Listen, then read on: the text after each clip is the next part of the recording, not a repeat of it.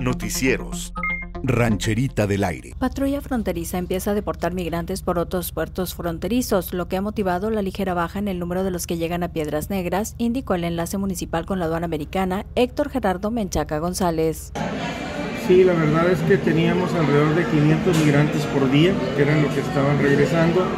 Eh, en esta semana hemos visto, esta semana pasada y esta, que han ido bajando los números, 250, 300, 350 migrantes. No sabemos a qué obedece la baja. Sí tenemos conocimiento que Border Patrol ha empezado a regresar algunos migrantes por otros puertos como Ciudad Acuña. Sin embargo, aún no, podemos confirmar en qué porcentaje. Y esto, pues bueno, nos ayuda a bajar la presión que sentimos en la ciudad con el número de migrantes que están llegando.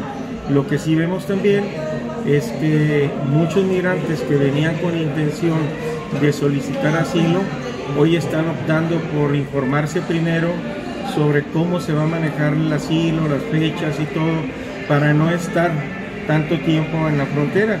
Ellos están en sus países o están en el interior de México.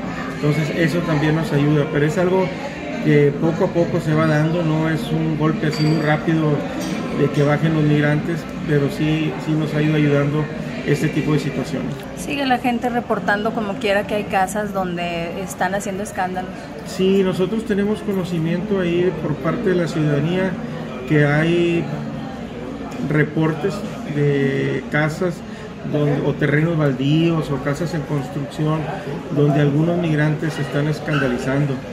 Y bueno, cuando acude seguridad pública se han dado cuenta y han encontrado alcohol, han encontrado incluso droga y bueno, pues ya ellos proceden a asegurarlos y a presentarlos ante un juez calificador y en su momento pues el juez calificador, pues, si son extranjeros, ponerlos a disposición del Instituto Nacional de Migración. Noticieros. Rancherita del Aire.